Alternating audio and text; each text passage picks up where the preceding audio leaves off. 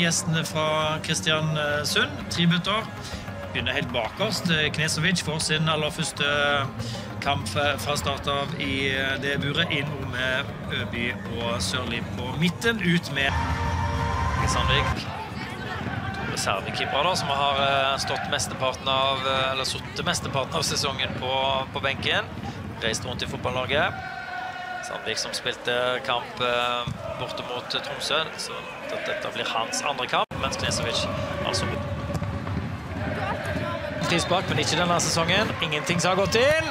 Ja, den er usikker på hvordan den hadde gått. Men springer tilbake der. Og kanskje at Ålesund.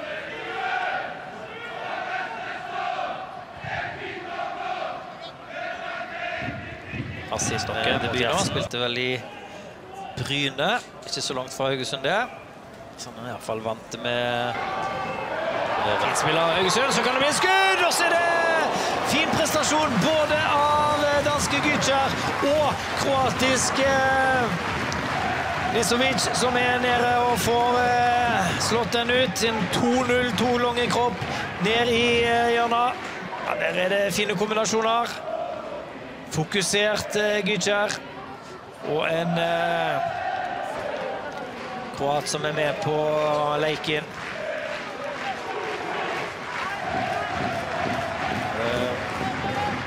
Hold, hold en venn inne i 16. Bra trøkk inni der. Andreasen. Og så blir ballen havna inn hos keeperen til slutt. Nisovic har vil sette kjapt i gang òg.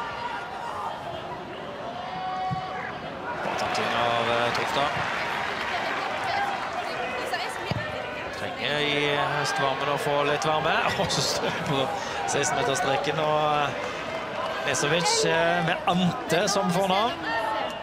Fin flikke av Andreassen. Og så er det litt småpanisk, men Nesovic har full kontroll av vertskapet.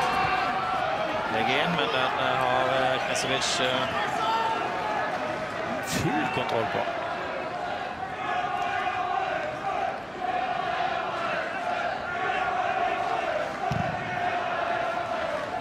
Hjemmelaget jager utligning her.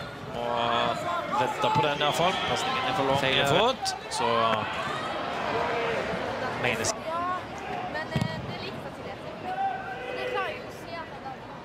Stølås med kommer. Kanskje ikke den eh, smarteste plassen å løfte en corner når en keeper er, er 2-0-2. Har eh, som må Land, Det skulle være tvil om hvem du hørte. Han vil ha sine utvalgte til å springe til blodsmaken kommer. En ny lengsmulighet for Stølås. Mot bakenstolpe. Han tar ingen sjanse for det Knesovic og bokser den. Ende til slutt i en corner.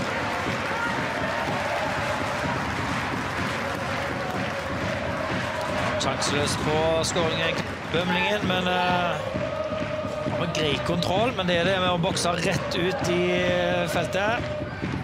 Det er en sjanse å ta der, men uh, lobben til Melland er litt for ufølsom. Ville, ville bare at keeper skulle skynde seg litt. Et minutt tillegg blir det. Ut fra Knesovic.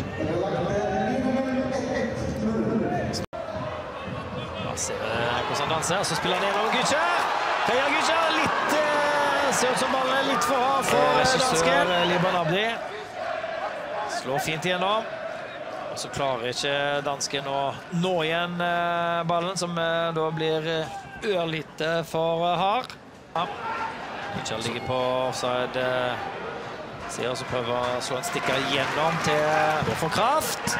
Og så er det Salo på hanskene fortsatt, men det holder for Knesovic. Han får slått den til corner.